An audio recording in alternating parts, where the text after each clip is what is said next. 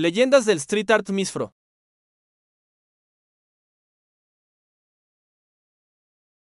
Todo comenzó en el extinto Distrito Federal Ciudad de México, hace 13 años, 2004, aproximadamente por estas fechas. Estaba en una transición escolar y veía que la gente hacía graffiti, yo tenía conocidos que lo hacían, la mayoría de forma ilegal. Eso me llamó la atención y en la escuela comencé a hacerlo originalmente no me hacía llamar misfro por temor a ser reprimido, ya sea en el hogar como por la policía. Comencé a ver que también se hacían stickers considerando que era más sencillo o menos peligroso. En la preparatoria en que cursé el bachillerato había stickers de gente ya reconocida para aquellos años. Fue así que en un breve transcurso del día estaba perdiendo el tiempo con los colegas y recuerdo el y que hago, que me gusta, que me identifica y va, eureka. Yo tengo el cabello rizado.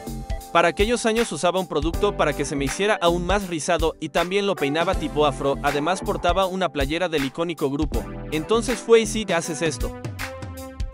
De esta manera germina la idea de mis fits, Afro por endemisfro, pudo ser Afromis o algo así jaja, y surgió un segundo problema, evidentemente ya existían programas de diseño, pero mi conocimiento era nulo por lo que decidí hacerlo en Paint.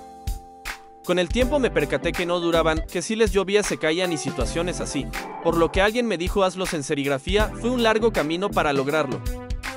Para el año de 2008 por 2009 comencé a hacer graffiti ilegal, relegando un poco la idea de pegar stickers, pero aún pegaba un poco, y por ahí del año 2012 fui dejándole poco a poco todo.